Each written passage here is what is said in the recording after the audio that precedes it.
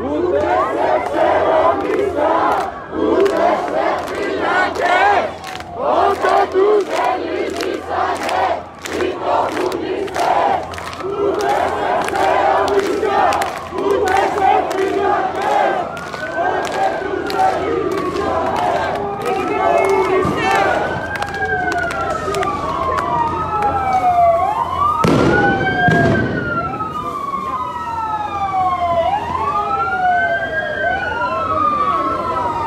Χρήση έβρας λοιπόν και χημικά από την αστυνομία.